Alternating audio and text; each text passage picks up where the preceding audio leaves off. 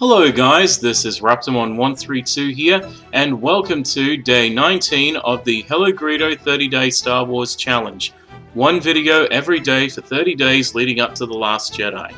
Yep, so today I'm going to be looking at I'm going to be looking at day 19's question for today. And this one says, Favorite non-Star Wars movie from a Star Wars actor? Well, that's a good one.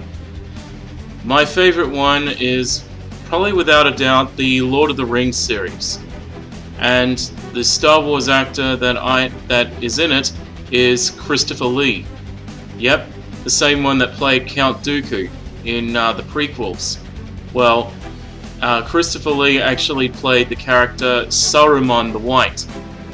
Yep, the one that uh, turns evil. So, uh, yeah, that is my favorite one, and I actually mean all three Lord of the Rings movies. Oh, and that include, and probably the Hobbit ones too. Yeah, the Hobbit ones are up there as well. So, yeah, the reason I like that is because like I love that series, and as soon as I saw Saruman, I was like, hey, wait, is that is that Count Dooku?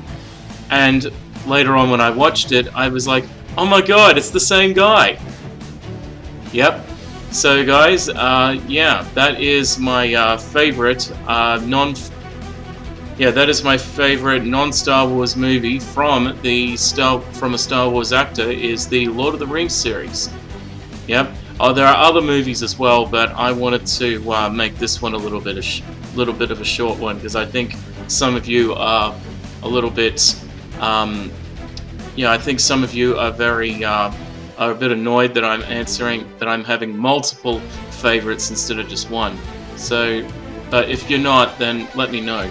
But, yeah. Anyway, that is day 19, the question for day 19 of the 30 Day Star Wars Challenge. So, I hope you enjoyed it, and hopefully I'll get on to uh, day 20 as soon as I can when I get the chance. But as usual, until then, thank you all for watching.